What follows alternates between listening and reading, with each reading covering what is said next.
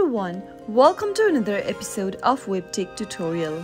In today's video, I'm going to show you how to change username on Zedge application. Watch the video till the end and don't forget to subscribe to our channel by hitting that subscribe button. Press the notification bell so that you'll never miss another upcoming upload from us.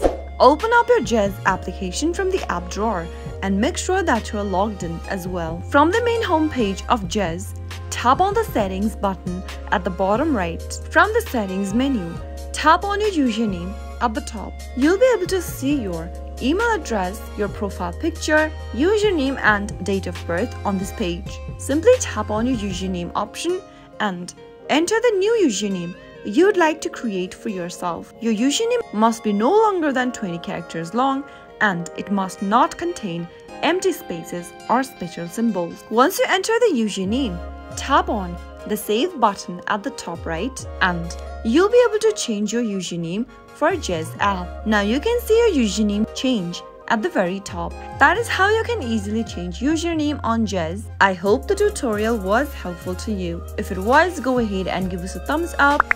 I'll be back soon with more videos like this. Thank you for watching.